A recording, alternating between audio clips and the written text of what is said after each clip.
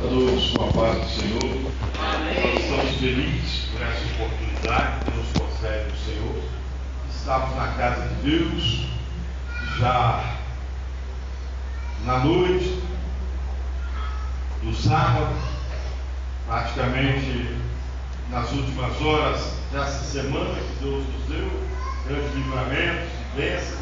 E aqui a gente poder estar adorando a Deus nessa hora, junto com o nosso irmão irmãos e com o nosso irmão Alexandre, que né, comemora mais um, um, dia aí do seu de vida, né? Nós é, ficamos felizes.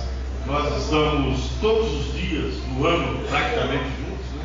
caminhando aí na batalha e sabemos que Deus é o nosso Senhor. Como diz o salmista no Salmo 20, uns confiem em carro, outros em cavalo mas nós não, nós fazemos menção ao nome do Senhor. E essa confiança, essa certeza, nos dá tranquilidade, meu irmão Joel. Na nossa jornada, na nossa caminhada, aquilo que ninguém acredita, nós cremos no impossível. Nós temos uma visão aberta. Nós não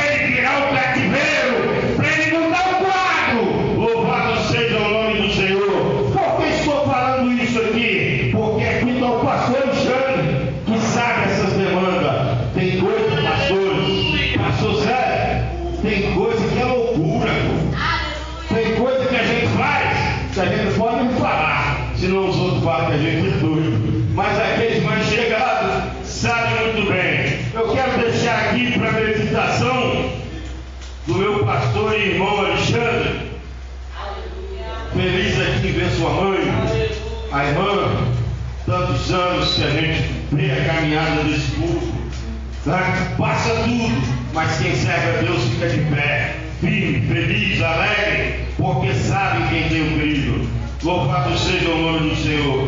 Vou deixar aqui um salmo para meditação. Salmos 37. Louvado seja o nome de Jesus. O Salmo 37. No mesmo número, louvado seja Deus. Salmo e 37. A parte B, que diz assim.